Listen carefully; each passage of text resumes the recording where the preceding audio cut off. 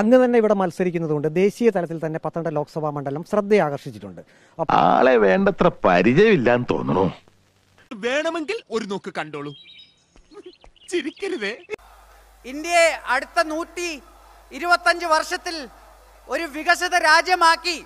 അയ്യോ ഓർമ്മിപ്പിക്കല്ലേ പൊന്നെ? ഞാൻ ശ്രീ നരേന്ദ്രമോദിജിക്ക് വേണ്ടി ശ്രീ മോദിജിയെ പ്രതികരിച്ച് ഇവിടെ കൂടുതൽ വികസനം ഇവിടെ അവസരങ്ങൾ ഇവിടെ കൂടുതൽ കേന്ദ്ര പദ്ധതികൾ ഇതെല്ലാം കൊണ്ടുവരുമെന്ന് പറഞ്ഞ് ഞാനിവിടെ വരുന്നു. മറ്റു. ഭയങ്കരം തന്നെ.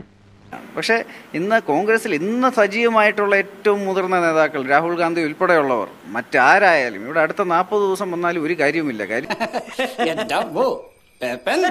ഇവിടെ ശ്രീ നരേന്ദ്രമോദിജി ആണ് എനിക്ക് പ്രചരണത്തിന് ആദ്യത്തെ ദിവസം വന്നത്. അത് അദ്ദേഹം വന്ന ഒരു മിനിറ്റിന്റെ ഇമ്പാക്ട് പോലും വേറെ ഒരു നേതാവും ഉണ്ടാക്കാൻ പോകുന്നില്ല.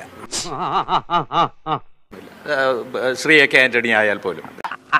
അതല്ല ഉദ്ദ- ഉദ്ദേശം ഞാൻ രാഹുൽ ഗാന്ധി ഉൾപ്പെടെയുള്ളവർ എൺപത്തിനാല് വയസ്സുള്ള ശ്രീ എ കെ ആന്റണിയേക്കാൾ കഴിവ് കെട്ടവനാണെന്നാണോ താങ്കൾ പറഞ്ഞു വരുന്നത്?